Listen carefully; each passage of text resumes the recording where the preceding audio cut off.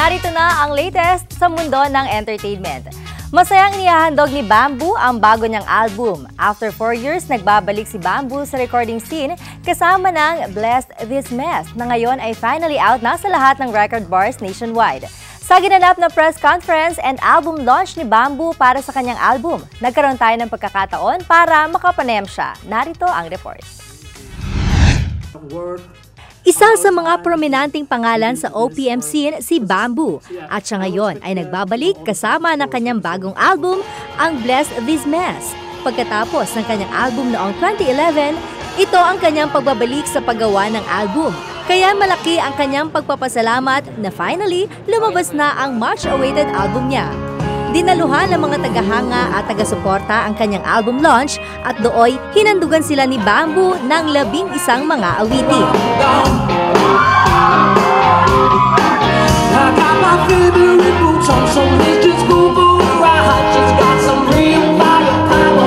Anya, hindi ganun kadali ang paggawa ng album. Kailangan niya ng iba't ibang inspirasyon dahil gusto niya na magkaroon ng twist ang kanyang mga awitin sa album.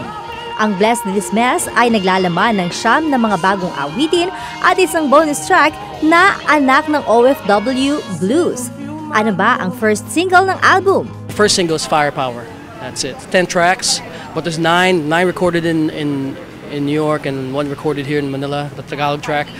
And it's just my latest, my latest journey. So I, I just want to share this with, with everyone out there. I, I want to bang it out. I'm just so happy it's out in the wild because it's been five months already. Five months. Malaki rin ang pasasalamat ni Bamboo sa mga taong patuloy ang pagsuporta sa kanya kahit ano pa man ang mangyari. I just want to say thank you very much for this gift, man. Uh, yeah, um, and thank you for continuing to support me. Just enjoy the ride. This will not stop. We'll just keep continuing making music, and that's what we love to do, and that's what I love to share. And to get that response from, from my fans, my supporters, it's just great. Naka-out na ang Bless This Mess album sa maraming online digital stores at ilalabas naman sa iba't ibang record bars simula October 30 nationwide.